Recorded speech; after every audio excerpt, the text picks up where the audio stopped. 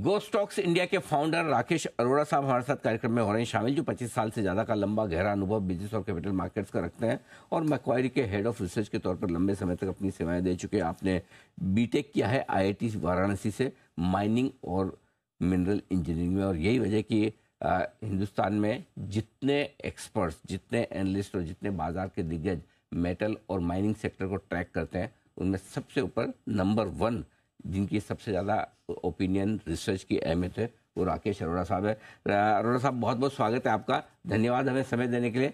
वैसे तो सीरीज़ हमारी ऐसी है, बजट और बाज़ार हो चुकी आप माइनिंग मेटल के सबसे बड़े विशेषज्ञ हैं तो मैं शुरुआत आज पहले वहाँ से करता हूँ, क्योंकि ग्लोबली पिछले दो महीनों में बड़ा कोहराम सा मचा हुआ है। सारे के सारे मेटल्स बड़ी तेज़ी से कमज़ोर हो रहे हैं।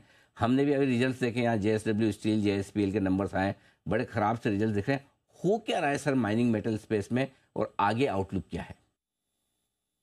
सो नमस्कार अनिल जी। थैंक यू आपने जो काइंड वर्ड्स कहे मेरे लिए। मेटल uh, माइनिंग अगर अपन देखते हैं तो चाइना ही एक सबसे बड़ा इम्पोर्टेंट फैक्टर निकल के आता है जिस पे नज़र रखनी होती है।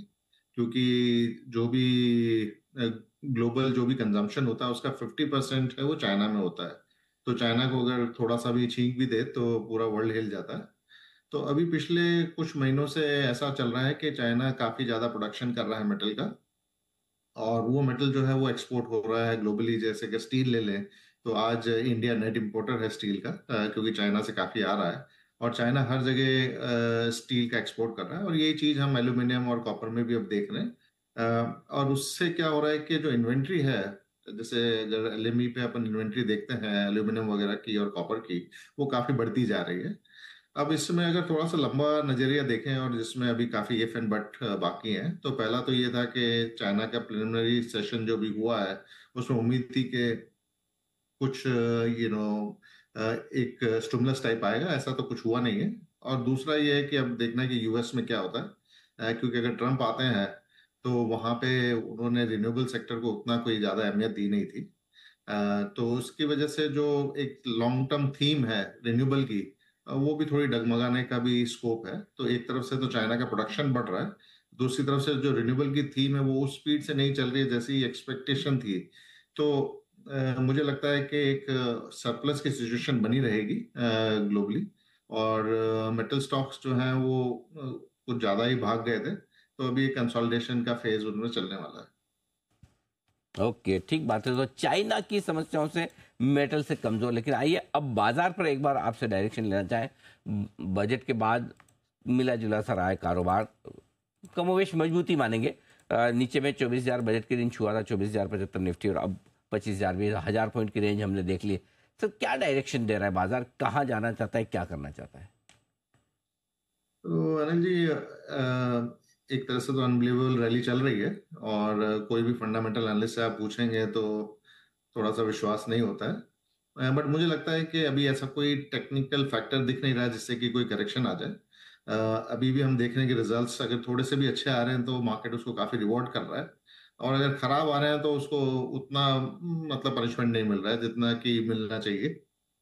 तो मुझे लगता है कि अभी काफ़ी फंड फ्लो जो है वो पॉजिटिव है मार्केट के लिए। रिटेल फंड फ्लो मुझे तो नहीं लगता अभी इतनी जल्दी हटने वाला है। से भी कोशिश कर रही है वित्त मिनिस्टर फाइनेंस मिनिस्टर ने भी कोशिश कर ली है टैक्स वैक्स बढ़ा के।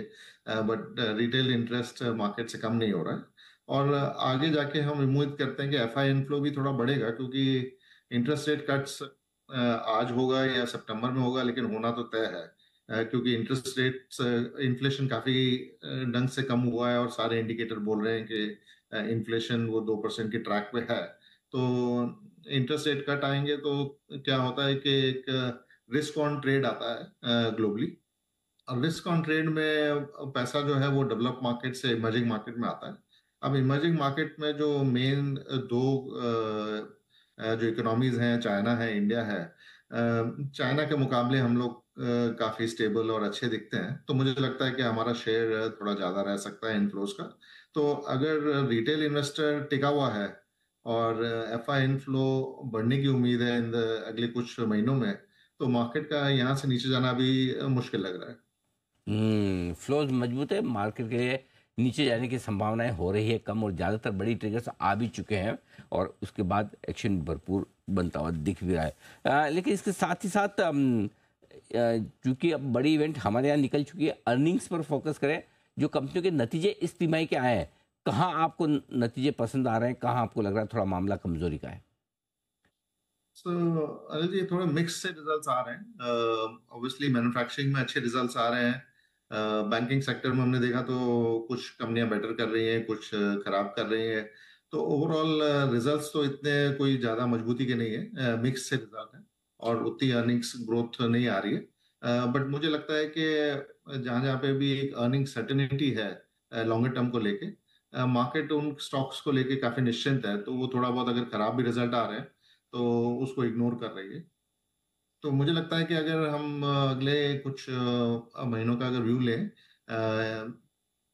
तो फाइनेंशियल सेक्टर एक मुझे लगता है कि जिसके अंदर नतीजे ठीक ठाक से हैं और वैल्यूशन काफ़ी कम है तो मुझे लगता है कि नेक्स्ट सपोर्ट अगर एफ़ अगर बाय करने आते हैं इंटरेस्ट रेट कट के मद्देनजर तो एफ़ मुझे लगता है कि फाइनेंस सेक्टर आउट परफॉर्म कर सकता है। यहाँ पे प्राइवेट सेक्टर बैंक्स ने अंडर परफॉर्म किया है क्योंकि जो क्रेडिट साइकिल है वो बहुत ही बिनाइन चल रही थी। तो उनका जो एक यूएसपी है कि उनकी अंडर राइटिंग कैपेबिलिटी बेटर है पीएसयू से वो दिखाई नहीं दे रही तो इसके कारण पीएसयू अच्छा कर रहे थे प्राइवेट सेक्टर बैंक्स थोड़ा अंडर परफॉर्म कर रहे थे बट मुझे लगता है कि अब जैसे नेम्स में थोड़ा कंप्रेशन आने वाला है क्रेडिट साइकिल क्रेडिट कॉस्ट थोड़ी बढ़ने वाली है तो प्राइवेट सेक्टर बैंक्स का जो कॉम्पिटेटिव एडवांटेज है वो फिर से दिखाई देने लगेगा और वहाँ पे एक मुझे लगता है कि लीड ले सकता है सेक्टर यू नो मार्केट को सपोर्ट करने के लिए। हम्म ठीक बात है। तो सर बताएँ, अब इस मार्केट में कहाँ आपको निवेश के अच्छे मौके दिखते हैं, राकेश जी? क्या खरीदा जाए? सो so, अनिल जी अगर अपन बजट और अर्निंग्स और यू नो जो इंटरेस्ट रेट कट से अगर अपन कुछ क्लू लें तो मुझे लगता है कि गवर्नमेंट भी चाह रही है कि आम आदमी के पास थोड़ा ज़्यादा पैसा जाए। रूरल फोकस किया है फार्मर्स पे फोकस कर रही है। तो एक ब्रॉडर इकोनॉमी में ज़्यादा पैसा जाने की उम्मीद है तो उससे कंजम्पशन स्टॉक्स जो है वो मेरे हिसाब से फ्लेवर में रहेंगे।